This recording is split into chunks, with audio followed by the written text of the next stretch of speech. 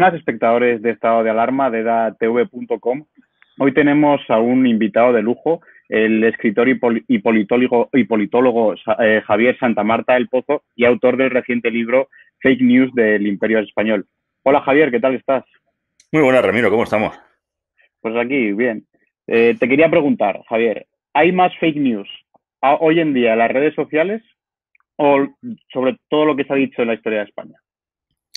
Bueno, yo creo que es que ahora se ven más, o sea, son más, eh, realmente también mm, el auge de las fake news eh, vienen con, con, el invento de la imprenta. Eh, en el momento dado que la imprenta surge, es ese momento dado en el que eh, pues tanto Lutero como Guillermo de Orange se aprovechan para sacar una serie de panfletos y de, y de bulos que recorren toda, toda Europa, todas las cortes de Europa, muy ilustrado con muchas imágenes. Los memes no son nada nuevo, ya estaban hechos efectivamente, en donde se veía a los españoles como cerdos, eh, o al, duque de Alba comiéndose niños como si fueran un kebab, así a bocado limpio, cosas de estas, porque claro, no todo el mundo sabía leer, pero las imágenes eran, eran muy gráficas, todo el mundo podía ver las imágenes y, y, entonces horrorizarse, ¿no? Con, con lo brutos, los salvajes que eran los españoles. Y la imprenta, pues fue mm, pues, un gran difusor de ellas. Hoy en día tenemos las redes sociales, que ya es lo mismo, pero exponencial, con lo cual ya, pues cualquier animalada que diga el presidente del Perú, por ejemplo,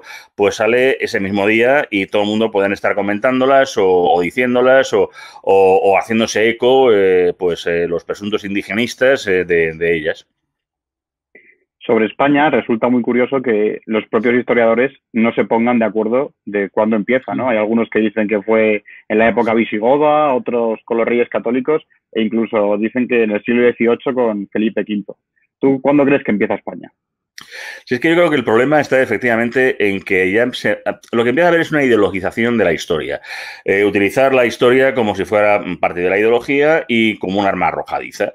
Entonces ya no hay unos discursos muy al estilo casi, no sé, entre Américo Castro, lo que se hacía y tal con Sánchez Albornoz, un poco vamos a discutir sobre eh, esos orígenes de España, cuando empieza España, cuando el tema, ¿no? Que son, eh, que eran en el fondo, pues, bueno, aspectos bastante, bueno, vamos, yo creo que eran completamente académicos, eh, eh, con mayor o menor vehemencia, pero claro, que ahora mismo casi Claudio Sánchez Albornoz, eh, presidente en el exilio de la Segunda República, sea poco más o menos que un facha, pues es un poco de chista. A, este, por eso es el nivel en el que estamos.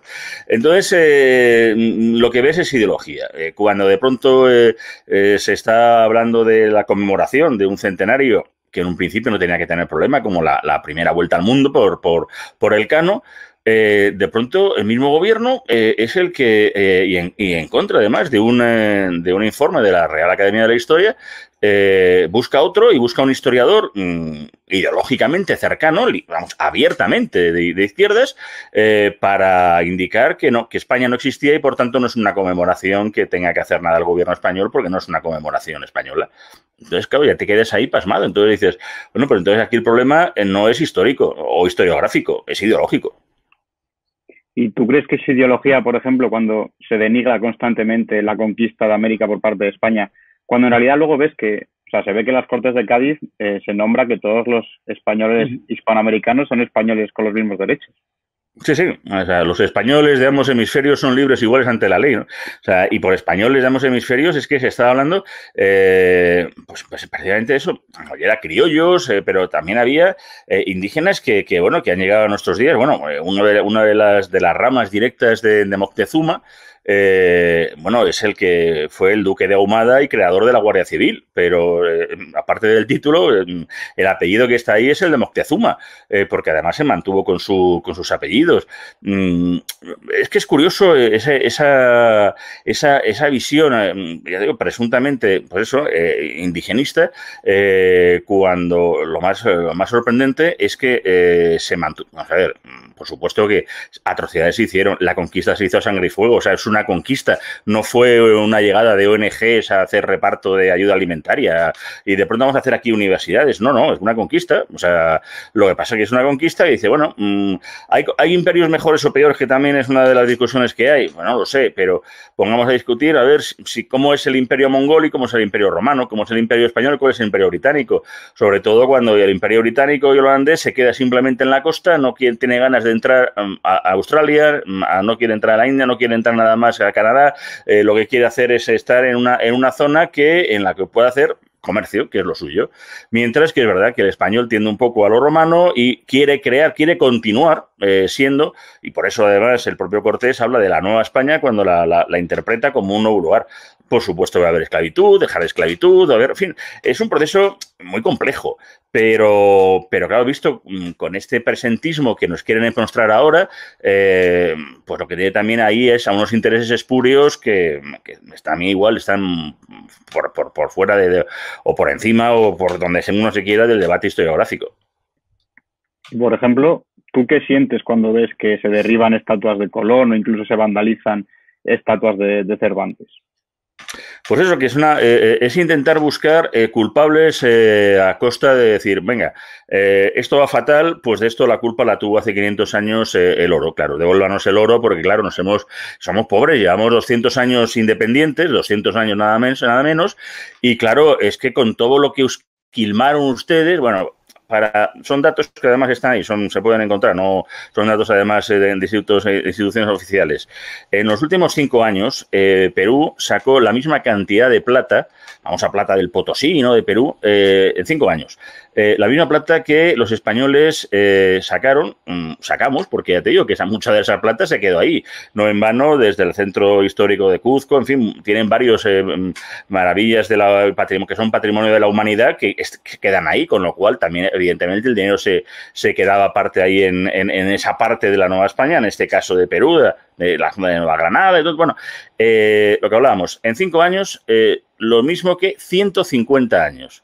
O sea, lo que se tardó en 150 años de sacar de plata, que claro, en cinco años ahora lo han sacado. Entonces, mm, es un discurso eh, muy fácilmente victimista, pero que va, eh, pues eso, mm, jugando un poco con la, eh, la búsqueda del culpable fácil y entonces, pues, mm, aquí a quién tiramos por las estatuas. Esto es por culpa de Colón, de Cervantes o, del, o de cualquier conquistador que venga o no a cuento, ¿no? Bueno, si nos pusiéramos así, la verdad es que no queda una, una estatua viva, porque no hay personaje en la historia que tenga una estatua en cualquier parte del mundo y que escarbando, vamos, se pueda mantener con los parámetros actuales del siglo XXI. Ni una, de verdad, estoy convencido. Pero es verdad que las comparaciones son odiosas, pero es verdad que, o sea, en España, como que el paradigma del genocidio español se habla en todos lados, incluso internacionalmente, pero no se habla de lo que hicieron los ingleses y franceses en Norteamérica o de lo que hizo el colonialismo europeo en el siglo XIX en África, o incluso el que va un poco más retapado, lo que hizo Portugal en Brasil en, durante todo su colonialismo también. ¿Por qué, ¿Por qué ocurre esto? ¿Por qué somos el paradigma nosotros del genocidio español?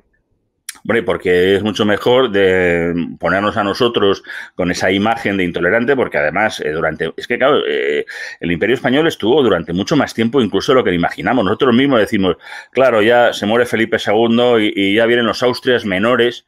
¿Qué Austrias menores?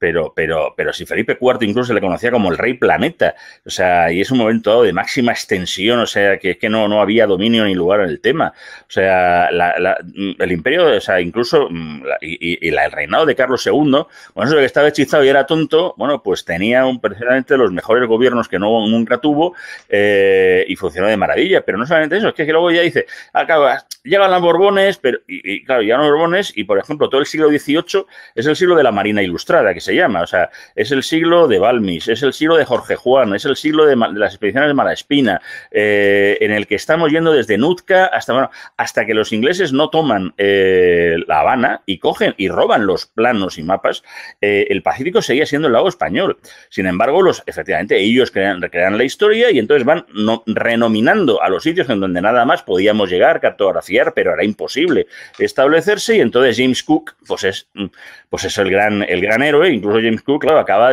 buscando incluso y encontrando sin querer pues los restos de un navío que seguramente son el San Telmo, que son los primeros, que el primero que llega a la Antártida, eh, que quedó ahí varado, pero vamos, antes había estado también eh, em, un, parentino, eh, Gabriel, de, Gabriel de, Castilla, que había llegado pues en el siglo XVI.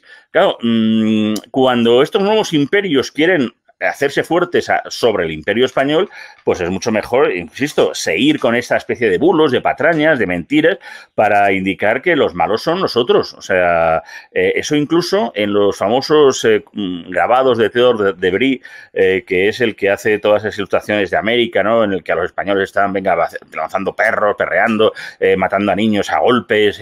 es el mismo que representa cuando llega Drake, Francis Drake, a Virginia, que la nombra así en honor a la reina, a la reina virgen, a la reina Isabel, eh, en el que están todos eh, hablando con los indios pacíficamente, tomándose un cigarrito, una cosa así.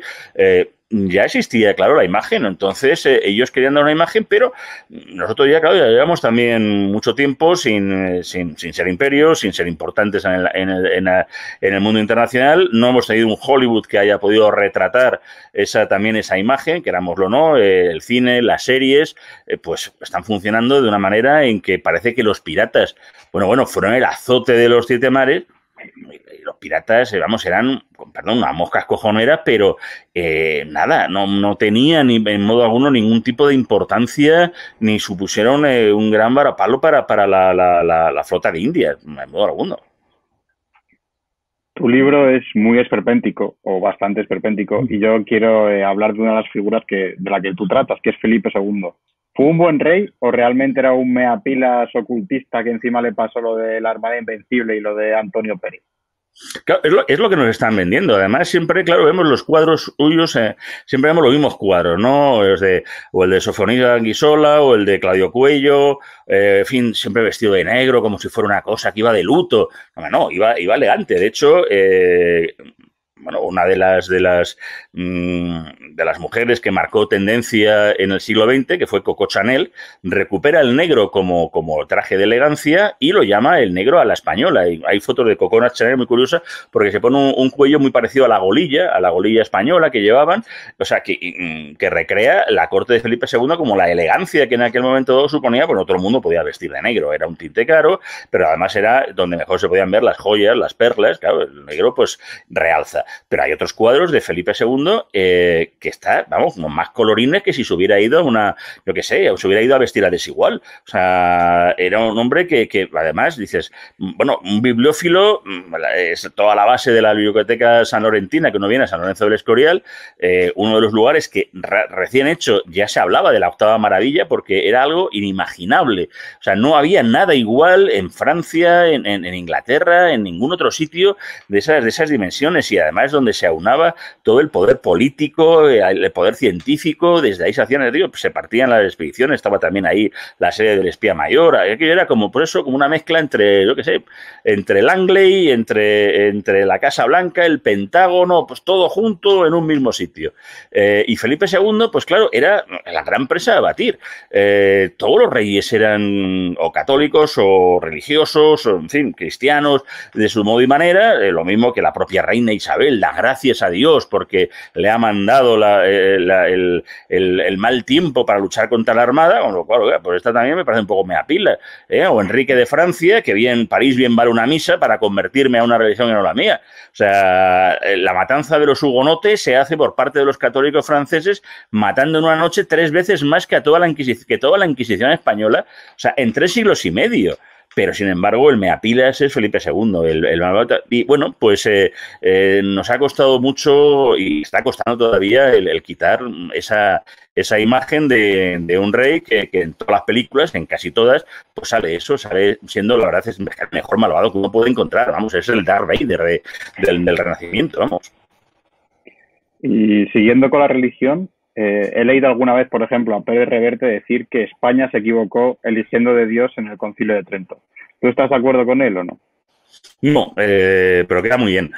Eh, cuando uno lee a los reformadores, como por ejemplo Lutero, Lutero, vamos, mm, es que, vamos, eh, em, las, burradas y animaladas que dice, por supuesto, la manera en que se mete con, contra los contra todos los españoles, contra todo lo que es español, contra todo lo que es castellano, es llamándonos marranos, judíos, o sea, que el tío, vamos, era, era eh, un antisemita completo.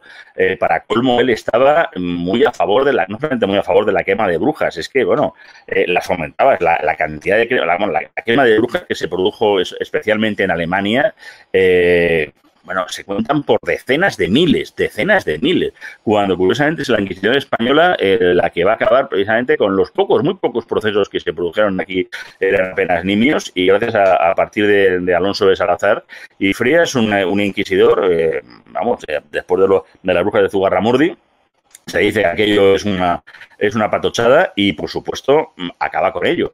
Eh, pero bueno, mm, esa, esa, en, ese Trento del que, del que tan mal se habla, bueno, pues eh, ahí van gente que, han que, están en la escuela de Salamanca. Está un Domingo de Soto. Un Domingo de Soto, pues es, un, es un dominico, pero es un científico también. en sus estudios sobre la gravedad y esas cosas, pues les van a servir a, a un tal Galileo y ante un Newton para hacerse muy famosos. Y Domingo de Soto, pues no lo conoce nadie. O sea, va a haber muchos de los que es la gran escuela de Salamanca, que es una de las grandes olvidadas, que además incluso empieza a trabajar lo que es mucha parte de la economía eh, de, que el propio Schumpeter eh, empieza a hablar, que la escuela de Salamanca empieza a trabajarla y están ahí. Y estos son los que han ido a Trento.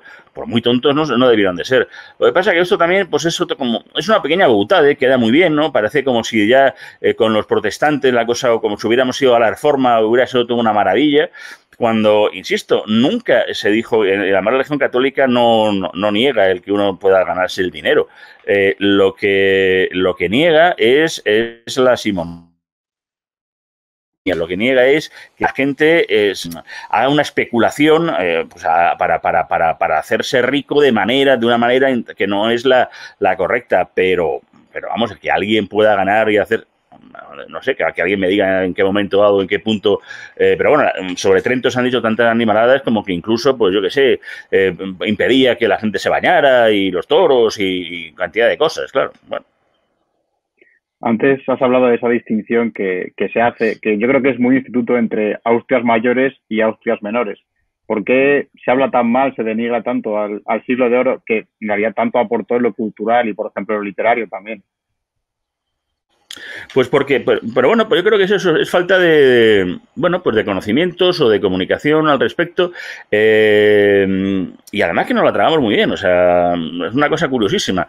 Eh, eh, los ingleses tienen a Shakespeare magnífico el bardo, no lo vamos a negar. Eh, ellos, tú vas a Stratford on Avon, te enseñan la casa de Shakespeare, no, no, no suya, no, vamos, es una recreación. Eh, te enseñan la tumba de Shakespeare, no saben dónde está muerto, pero está muy bien. O sea, eh, hacen un mundo sobre Shakespeare. Aquí nosotros tenemos a Lope, a Calderón, a ver, por supuesto, la casa donde nació Lope de Vega, que es en la calle Mayor, se tiró abajo. la casa de, de, Cervantes también, la de Quevedo, los propios huesos de Quevedo y los de Lope no sabemos ni siquiera dónde están.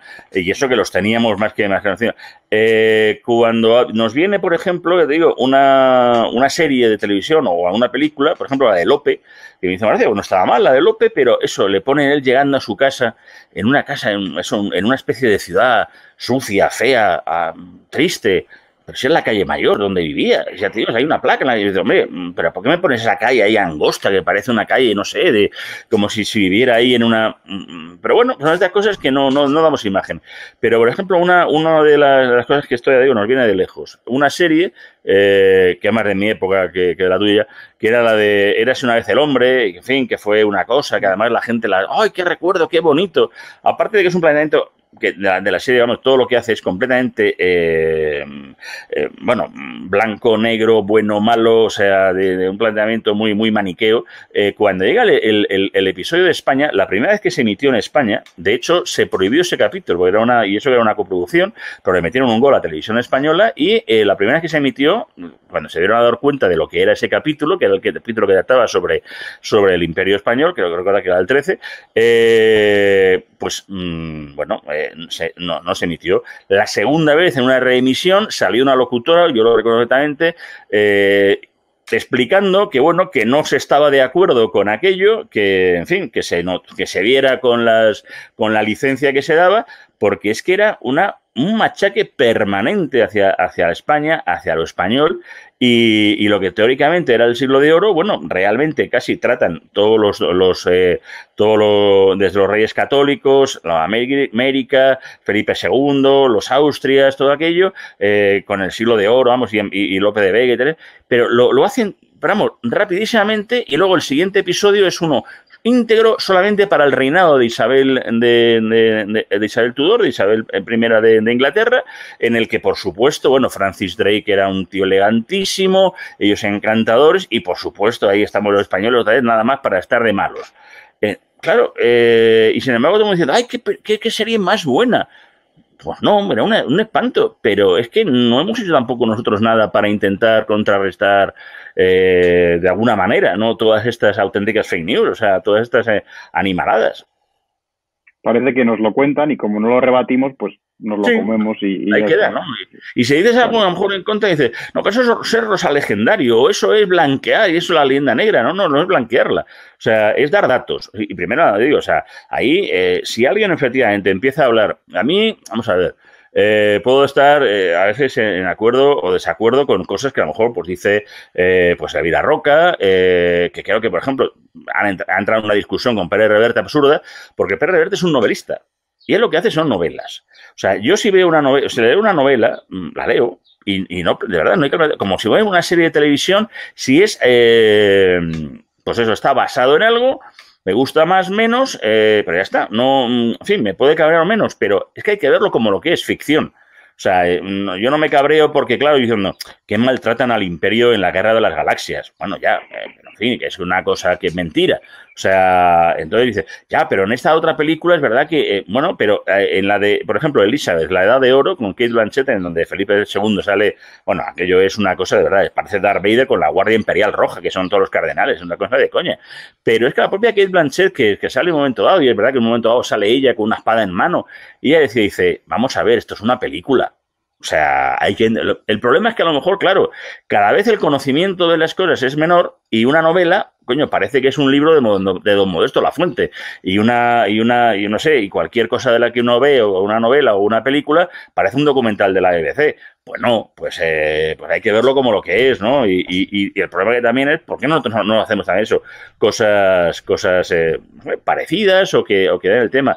Pero yo creo que eso, es por un punto, un punto de ignorancia que la gente tiene y, que al final se ha entrado, pues eso, en una, en un aspecto en el que, en el que incluso eso, dar datos y, a lo mejor contrarrestarlos, eh, pues eso ya te convierte en un nacional católico, como a mí me han llegado a decir, en un nacionalista positivista. Eh, hombre, no tenemos que ir a decir que fuimos ahí a América, como también ha dicho Marcelo eh, a, liberarles. No, fuimos a hacernos de oro, fuimos a buscar riquezas, eh, a coger más territorio eh, y ya de paso de pronto nos dimos cuenta, oye, que nos, nos, plantamos ahí y es verdad que hicimos 23 universidades, pusimos imprenta, hospital, antes que nadie. Eso es lo que hay Pero tampoco vendamos la moto de que fuimos ahí poco más o menos como si fuéramos los cascos azules de la ONU para interponernos entre los Aymara y los incas o entre los tlaxcaltecas y, y los mexicas. No, no. O sea, eso también yo creo que, que, que, es, es, caer en, un, en, una trampa que no nos, no nos beneficia.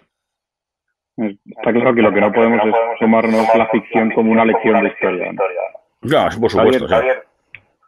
Cambiando un poco de tema, te quería preguntar por un par de cosas de actualidad. ¿Tú crees que, por ejemplo, hoy vivimos eh, políticamente en un clima guerra civilista?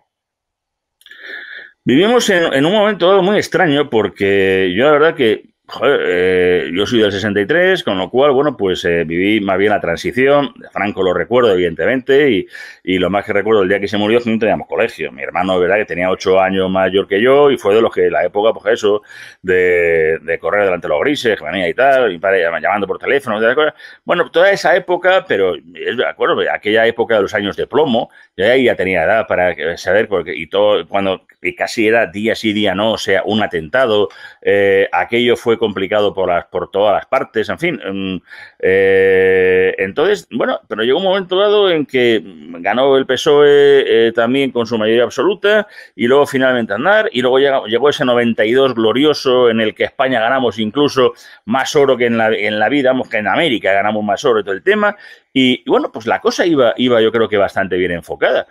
Y, de pronto, de un tiempo a esta parte, eh, e incluso digo, y me sorprende, incluso actuales ministros y ministras, más especialmente, que, que es que han nacido con Felipe González gobernando, te están hablando de un franquismo, te están hablando de una situación en la que los abuelos no saben, la gente no sabe dónde tiene eh, mm, sus, eh, sus ancestros, la guerra civil, hay que cerrar heridas. Y yo decía, Ah, pero que no estaban cerradas. Eh, y lo digo yo que mis dos abuelos estuvieron en cárceles franquistas. O sea, que de verdad que no. A mí, no, toda mi familia le tocó el lado, el, el, lado rojo, como se decía. No lo sé, o sea, eh, hemos debido ser una familia muy rara. O sea, y mi abuelo, que además aún no le conocí porque, le, vamos, salió muy mal del penal de Chinchilla, pero mi otro abuelo, que era de UGT y por tanto, claro, le tocó penal y, y estar además desbrozando la Plaza de España, o sea, yo que nunca, de verdad, nunca me inculcó jamás ni odio, ni cosas, ni leches. Y llevamos unos años que es que no se ha hablado nunca más de la guerra civil. Eh, el Valle de los Caídos ni se le hacía caso. Yo vivo en Lorenzo del Escorial y estoy muy cerca y de pronto se empezó a visitar, vamos, como, como no sé, autobuses todos los fines de semana. Estaba aquello bloqueado pero diciendo, pero, pero si es que a santo de qué. O sea, no lo sé, esto es, eh, pero mm, estoy convencido que esto es, eh, son lo que se llaman cortinas de humo mm, de gobernantes que no saben gobernar bien, que no tienen una capacidad de gestión y que tienen cada dos por tres que poner, mira, eh, Franco, mm, no sé qué, oiga, que la luz, mire, es que estamos, eh, sí, sí, pero esto la culpa la tiene, sí, sí, no, sí, ya sé, Rajoy, Aznar y Franco también, sí, por los pantanos, porque se ha llegado a decir también que los pantanos no son ecosostenibles, lo, lo he leído hace poco, yo digo, nos cargamos todavía los pantanos, o sea, que parecía que estábamos hasta de broma. Entonces, no sé si guerra civilista, no, yo tanto no, porque no creo que haya una situación mm, que no se da para, para, para una guerra, pero un enfrentamiento ahora eh, muy triste y, que la sociedad está cabreada, eh, pero gracias a unos políticos que, que lo que la están azuzando, yo creo. Es verdad, es muy triste que se hable más del franquismo y de la guerra civil hoy en día que en los años 80. Es algo que no tiene mucho sentido, pero bueno, es, es donde vivimos. No, no, pero, es, que, es, que, son cosas, eh, em, incluso eh, eh, esta situación en el que España éramos el quinto mejor país para ser mujer, por ejemplo. Ahora, desde que hay un Ministerio de, Igualdad, hemos pasado, hemos, hemos, bajado 10 puestos. O sea, tiene narices, o sea, es increíble. Era el, el, el, pero además, igual, por organismos internacionales, mejor país para que una mujer viaje sola, España. Y resulta que las diputadas de Podemos, sobre todo el tema, joder, les van persiguiendo masturbadores por el camino. O sea, oiga, mire, es que además les pasan unas cosas a ustedes que son muy raras. No, no, no, no, no entiendo nada, ¿no? Eh, la fiesta del Día del Orgullo Gay se lleva haciendo, pues, pues desde que el PP, vamos, con Álvarez del Manzano, que, que ese que era un, era un meapila. O sea, y de verdad que no ha ocurrido nada. O sea, y Chueca además, joder, lo que cambió Chueca, lo que supuso Chueca precisamente con el establecimiento de la, de la comunidad LGTBI, de pronto, tú y ahora hay problemas con todo esto, ¿verdad? Digo que estamos azuzando y creando problemas donde yo creo que de verdad ni, lo sabía y, con cosas que estaban más que superadas. Y también sobre esto, ¿qué opinas tú cuando ves que, por ejemplo, en Cádiz se retira el busto y las placas de Pemán eh, de la calle? Pues eh, pura ignorancia. Pero en Cádiz eh, fue muy curioso porque guay, en ese momento dado eh, también estaba en Madrid Carmena, o sea, estaban también gobiernos del cambio, tanto en Madrid como en... Y fue también, en ese momento dado, también un momento que mm, el alcalde de, Cádiz, Kichi, es que lo de coña, es que también ya, eh, le dio por retirar la estatua de Mercedes Formica, porque claro, era, era de falange, era, era amiga de José Antonio, era una falangista y tal, y fue una de las mujeres eh, más importantes que ha tenido el siglo XX, que, consiguió además eh, derogar, cambiar decenas de, artículos del Código Penal, del Civil, eh, para el tema de, a favor la, de la mujer en pleno franquismo, y Manuela Carmena, que, joder, nos guste más o menos y tal, pues ella, justo en ese momento dado que el Kitsi le estaba quitando la estatua en Cádiz, en Madrid le estaba poniendo una calle. Yo digo, bueno, pues mira, o sea, para que no, no, al final no todo el mundo lo mismo, ¿no? O sea, dicen que todos somos madera, pero el pino nos caoba. Pero es que, claro, eh, lo de este tío en Cádiz, pues la verdad que da pena, una ciudad trimilenaria, origen del liberalismo, eh, eh, origen de, de, Pero si es que incluso además, o sea, es cuando la bandera, la bandera bicolor, la, la, es cuando se empieza a convertir en nacional. Podemos decir incluso que la bandera nacional, que luego además con, el liberalismo, por decirlo así, es una bandera un poco rojilla, es, una bandera de izquierdas, porque se enfrenta al absolutismo, por decirlo así, de, Fernando VII, con lo cual, o sea, es una bandera progre. Y ahora van estos y se la quieren cargar por una por, eso, por ignorancia, pues lo de Temán, por ignorancia, si es que no, no hay otra cosa. Y ya para terminar, Javier, ¿qué podemos hacer para que los jóvenes y los no tan, no jóvenes se interesen por la historia? Bueno, además de leer tu libro, claro. Hombre, pues somos No, vamos, en mi libro la verdad que lo he intentado hacer un poco, como decías, esperpéntico. He querido un poco jugar a, los espejos de Valle Inclán, o sea, a jugar un poco con la risa, a reírnos, a pasarlo bien y al mismo tiempo con esa manera tan grotesca. Eh, darnos cuenta diciendo que a lo mejor, pues mira, mm, pues es verdad, te hace reflexionar. oye, y, yo creo que de las cosas más importantes es de lo único que uno se puede reír. Y, viene muy bien de catarsis. Eh, creo que además le he cogido un poco el punto. De hecho, eh, a ver, el ensayos como de Elvira Roca, pues son complicados. Iván Vélez ha hecho algunos libros también muy interesantes, pero es verdad que no le llega a todo el gran público. Yo creo que este libro yo sí que le puede llegar al gran público, a muchas edades diferentes. ¿Por qué? Porque efectivamente, mediante la risa, la broma, el esperpento, ¿no? Eh, me van a decir diciendo, bueno, pues ahora, ahora, ah, pues ahora que lo dice así, pues, ah, pues mira, lo, pues lo voy a reflexionar. En todas, además, viene bibliografía, notas, para que el que quiera consultar sobre cada tema, bueno, pues lo, lo vaya haciendo. Pero, pero se están empezando a hacer cosas interesantes. Eh, lleva también un tiempo un canal de YouTube, que no deja de ser nuevo sistema, que es el Academia Play, que, que de hecho fue un éxito el de que hizo el libro sobre historia universal, pero cuando hice un libro de historia de España, ah, eso ya no ¿Por qué? Porque ya no gustaba eh, la, la, claro, ya historia de España, eh, a ver qué dice. Oiga, por lo mismo que diga, o sea, si era riguroso con el de historia universal, con el de historia de España no lo era, lo es, pero no gusta, porque está empezando a dar también una imagen que, que está accediendo. Eh, proyectos como, por ejemplo, el de Gestas de España, que está haciendo libros, eh, tiene cómics incluso para niños, pero para muy niños. O sea, no como los cómics, por ejemplo, de la historia que hay sobre, sobre una editorial catalana, de, Cataluña, que es la de Cascaborra, que está haciendo eh, cómics de, de, todo, desde el del Glorioso al Madrid de 1808, a, de Clara Campamor o, a Isaac Peral, o sea, tiene una, una base tremenda. No, no, el de, el de Gester de España está haciendo cosas, pero está sacando a, a, Orzalo Fernández de Córdoba, Gastina de Aragón, Blas de Lezo, pero libros, en, libros para, para comer y otros de, de personajes, y yo creo que empiezan a salir cosas que se habían perdido. Y, eh, lo que hay que intentar es eso. Eh, no sé si que alguien se convierta en TikToker. A mí ya me pilla mayor para hacer, ya convertirme en TikToker. Pero intentar es verdad que utilizar nuevos sistemas para que, bueno, sea cada vez más accesible eh, lo que, pues, muchos libros de historia, queramos o no, son un poco coñazo. No es, no, no es una asignatura que además se ha ido relegando, cada vez se ha dado más lejos, cada vez más tarde en los, en los planes de estudio. Y la historia de España, el problema es que mm, se tendría que estudiar desde párvulo para que diera tiempo. Si es que es el gran problema, que no, no da. Eh, es que tenemos mucha historia, más de la que podemos digerir seguramente. Ese a lo mejor es el problema también. Yo estaría horas escuchándote, Javier, pero tenemos que acabar ya. No, por favor, me enrollo y no, no paro de hablar, perdonadme. nada, nada. Javier Santa Marta del Pozo, autor del libro Fake News del Imperio Español, muchísimas gracias por haber estado con nosotros. Un placer, de verdad. Y muchísimas gracias a todos los espectadores de Estado de Alarma de datv.com y les mando un cordial saludo.